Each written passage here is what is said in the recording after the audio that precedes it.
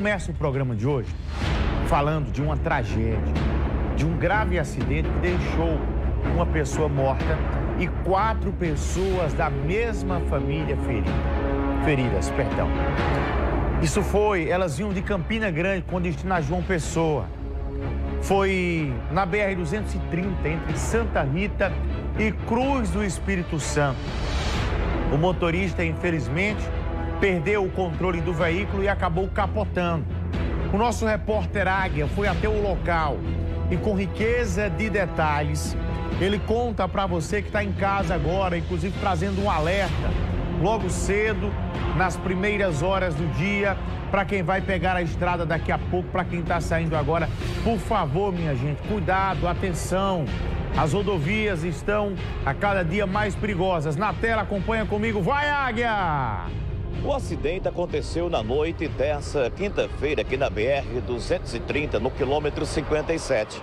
A família estava vindo de Campina Grande, quando de repente a motorista perdeu o controle, acabou colidindo aqui, ó, nesse meio fio e caiu aqui nesse barranco que vocês agora estão vendo. Agora vejam a gravidade do acidente. O nosso repórter cinematográfico, o Berg Souza, está mostrando o percurso que o veículo acabou fazendo, dando várias capotadas e ficando naquele ponto. Uma equipe do SAMU, Corpo de Bombeiros e Polícia Rodoviária Federal vieram aqui ao local rapidamente e começaram a fazer as retiradas das vítimas que ficaram presas às ferragens do automóvel.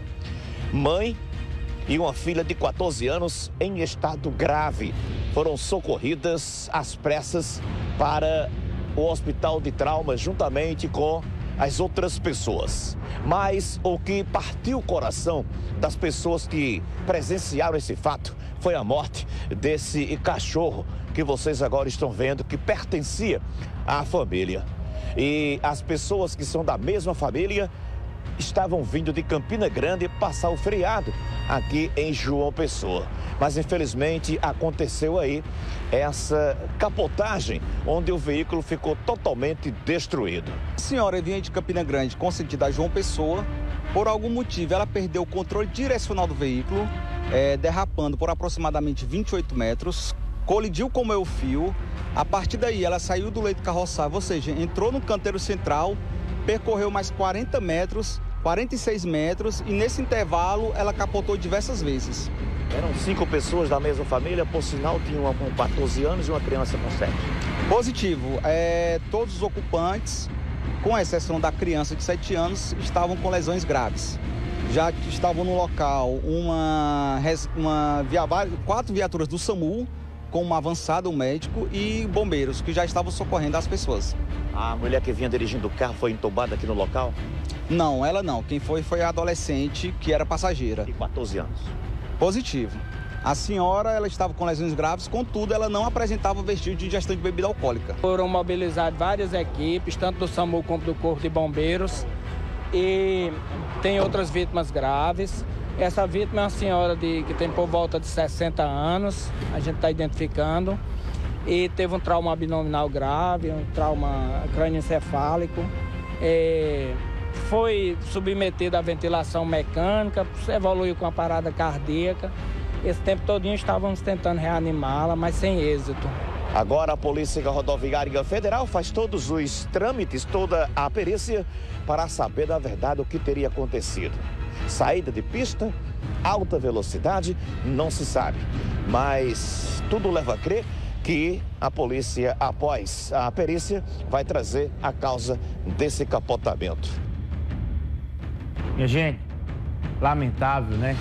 As pessoas trabalham tanto e aí quando vai se aproximando um feriado, e principalmente um feriadão assim, as pessoas se programam, né? Mesmo quando tem um feriadão assim, eu me programo de ir ao sertão da Paraíba, de visitar a minha família. E assim, é impressionante a quantidade de movimento nas estradas, nas rodovias, né? A gente precisa todas as vezes que sair de casa, fazer uma revisão básica no carro de ver como estão os itens de segurança, como os pneus, as pastilhas de freio, o óleo do motor. Fazer sempre as revisões, primeira coisa. E se apegar muito a Deus. Porque muitas vezes nós estamos 100% ok, o carro tá, nosso carro está ok, nós estamos dirigindo de forma correta, só que vem alguém do outro lado e acaba batendo no nosso veículo, né?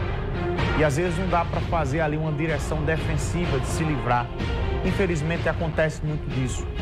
Nesse caso aqui, como bem disse o Flairton, que é policial rodoviário federal, não tem como atestar nesse momento, dizer o que aconteceu.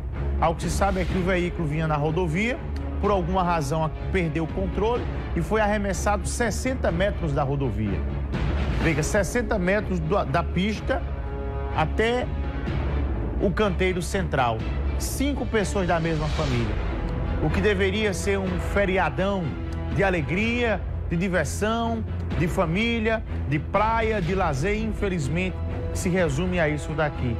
Eu peço inclusive orações para as outras vítimas que foram levadas para o hospital de trauma. Nós não temos ainda imagens dessas pessoas, podemos colocar ainda hoje a imagem dessas cinco pessoas da família. Algo que se sabe é que dois adolescentes nessa situação, é, mais três adultos, um, infelizmente, acabou morrendo no local, uma mulher morreu no local, e as outras quatro pessoas foram levadas para o hospital de trauma.